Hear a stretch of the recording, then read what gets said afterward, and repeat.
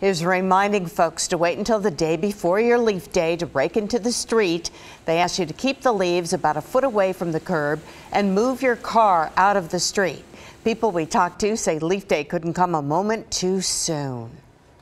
I think the hard part is having the leaves be pretty far out into the middle of the street. Um, because if we're trying to bike in the street, he, it pushes him a little bit closer to the center of the road. So I get a little bit nervous about biking. PBOT will tow in Northwest Portland, Goose Hollow, and Sullivan's Gulch if your car is parked in the street on Leaf Day. They will tow you. you can find out more about Leaf Day on portlandoregon.gov. They will tow you every year, it. and then I will feel sorry for you when they tow you. So rain in the